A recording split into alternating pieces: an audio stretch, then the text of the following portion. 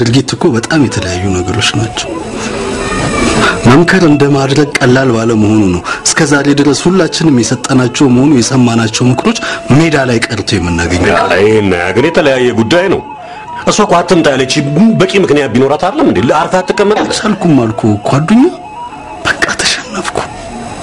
ካላየኋት የምሞት የምሞት መሰለኝ። እንግዲህ ድርጊት የማየው መሆን ተረድተን ወደፊት ትምህርት ይሆናል። አልሆነኝም። እንዲያውም ናፍቆቱ በጣም ብሶብኛል። እንዴ ሞገስ፣ ምን እንዲህ እኮ ነው የሚያደርገው አዱኛ። የሰው ነገር እኮ ሁሌም እንደዚሁ ነው። ወደው ሲቀርቡና ራሳቸውን ሲሰጡን ሳይሆን ሲያርቁና ሲገፉን እኮ ነው የሚብስብን። እሱ እሱ እውነትህን ነው። እኔስ የሶስና ነገርን እንደዚህ እንቅልፍ አሳጥቶ ሰላም የሚነሳኝ እምቢ ብላ ከገፋችኝ በኋላ አዱኛ ደግሞ ሶስና ትቅረብ ተዋት ብዬ ደግሜ ደጋግሜ ነገርኩህ አይደል? አልተዋትም። ለምን ነው የምተዋት? ቆይ ግን አንተ እለት እለት ፍቅሬ እየባሰበትና እየጸናብኝ ሴር ታያለህ አይደለም እንዴ? እንደ ጓደኛ ቀርበህ ልታጽናናኝ እንዳገኛ ልትረዳኝ ሲገባ እንዴት ነው ተዋት ማለት? ማነው እሱ ሶስናን በማገናኘት የሚረዳ? እኔ ምን ችግር አለው? ጓደኛ አይደለም እንዴ? ኧረ በእናትህ ተወኝ ሰውዬ። እኔ አንተንና ሶስናን በማጠባበስ ልረዳ ፈጽሞ አላደርገውም። እሺ ምንድን ነው እሱ?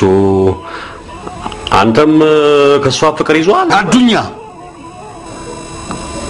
ሁለተኛ እንዲህ አይነት አስቀያሚ ነገር ስትናገር እንዳልሰማ። እንዴ እና እሺ ታዲያ ምንድን ነው አንተ? በቃ አልኩ እኮ አዱኛ።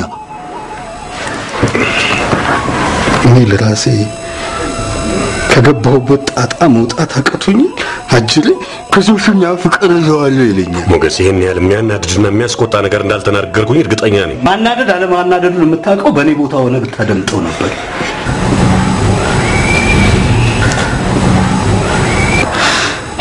አሁን ጭቅጭቁን እንተውና ወደ መጣሁበት ጉዳይ እንመለስ።